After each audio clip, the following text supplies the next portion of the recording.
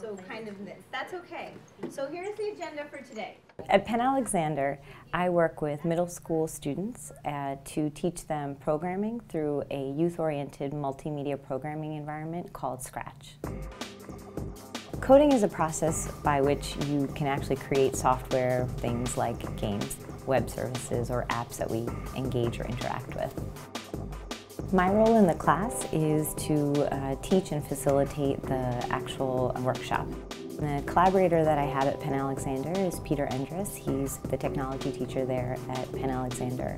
Vina's been coming to PIS for a couple years and the kids know and look forward to seeing her. The kids enjoy having all of the Penn GSE students here and if you spend any time in the class you know that they're not afraid to ask questions. But I have to think about how do I complete the circuit how do I hold Earth and how do I make the game all work together? So that's my challenge between now and Thursday. One of the things that you start to realize when you're using so much new media and technology, it's very pervasive. We download things and we're um, scanning the web and we're constantly accessing information and using programs.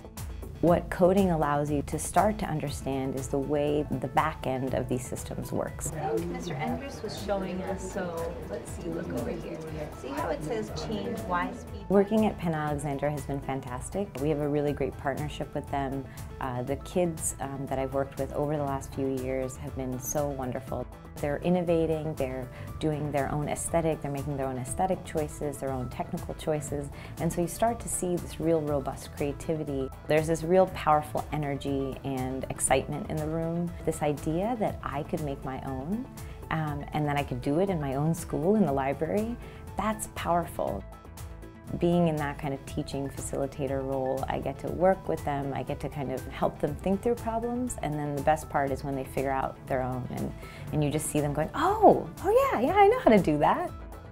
It's a really, really fruitful partnership, and I feel like every year I learn a little bit more, and I'm really thankful to be part of the program.